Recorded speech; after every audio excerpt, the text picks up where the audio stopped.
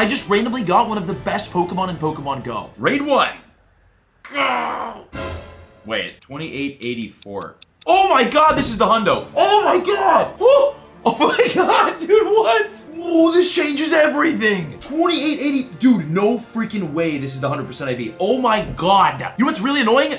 A, I have not guaranteed the catch yet, so maybe we, we actually try to catch this. B, I got two shinies in a row before this raid, and I'll show you in the journal. I missed the excellent. God, maybe we still catch it. Oh my god, we still caught it. 100%, yes! Oh my god, immediately powering this up as high as we can. Uh, this is gonna go to what? 4272, 300,000 dust in. Send it, baby. Look how good this is. Wait, look at this. Hold on, look at this. In my journal, look, we got two shiny Reshiram in a row, and then the hundo. Why couldn't we get the shundo? No, but check it out. Yes! You won't believe that